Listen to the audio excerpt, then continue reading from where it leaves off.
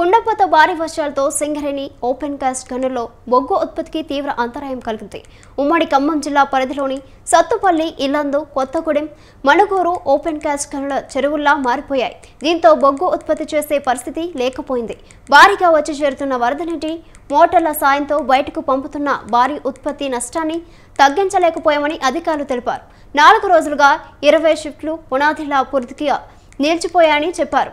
రెండున్నర లక్షల టన్నుల బొగ్గు ఉత్పత్తి నిలిచిపోయింది.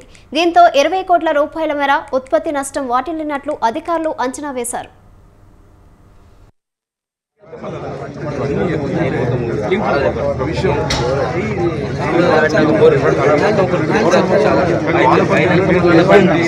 మళ్ళీ నీకే మనం ఓపెన్ చేయలే ఇంకా తీసుకుని రాలేదు ఓపెన్ చేయలేదు. అన్ని జగలు డిమాండ్ పని మళ్ళీ నీకైతే మొత్తం ఇంకోటి అది జియో జియో జియో వాళ్ళది. జియో జియో నెట్వర్క్. వాళ్ళు రిజర్వేషన్ కూడా మీరు మీద ఇచ్చినట్టు. లేదు, మీరు మీద వేసిపోయారు. అది ఏదైతే కొంచెం మీరు మీద ఉండలాగా వేసిపోయారు. ఉందో కొంచెం రిజర్వేషన్ మున్సిపల్ వాళ్ళు కొంచెం అన్నా అట్లా మట్టి లాగానో అట్లా వేసుకుంటూ జనాలు పడకుండా ఉంటారని